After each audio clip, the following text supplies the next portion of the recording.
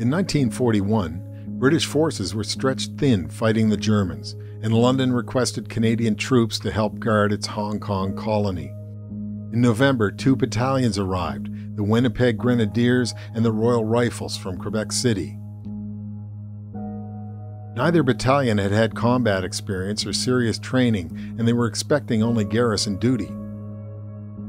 Three weeks after they landed, the Japanese bombed Pearl Harbor, and everything changed the Pacific Theater was suddenly at the forefront. December 7, 1941,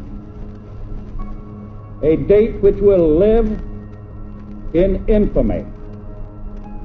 The United States of America was suddenly and deliberately attacked by naval and air forces of the Empire of Japan. Six hours after the bombing of Pearl Harbor, the Japanese 38th Division attacked Hong Kong. The Canadians fought tenaciously, but they were undertrained without necessary equipment and short of water and ammunition. It was a losing cause, but there were moments of great valor. On December 19th, A Company of the Winnipeg Grenadiers was surrounded with the Japanese lobbing grenades into their position. Company Sergeant Major John Osborne picked up several live grenades and lobbed them back. He couldn't get to one of them in time to throw, so he dove on it. He died instantly but saved his men. He was posthumously awarded the Victoria Cross. On Christmas Day, D Company of the Royal Rifles was ordered to make a suicidal attack.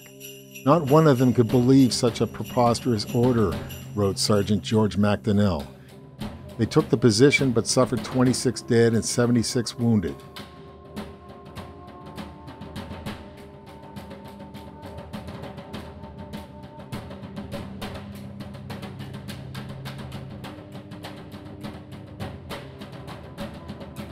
Two hundred and ninety Canadians died in the fall of Hong Kong, and 493 were wounded. But what followed was worse. The Japanese soldiers murdered the wounded, raped and killed nurses, and brutalized the prisoners. Survivors were sent to prisoner of war camps where another 264 Canadians died of disease, starvation, or brutality. The Canadians who gave their lives are remembered by a memorial at the Sai Wan Bay War Cemetery on Hong Kong Island.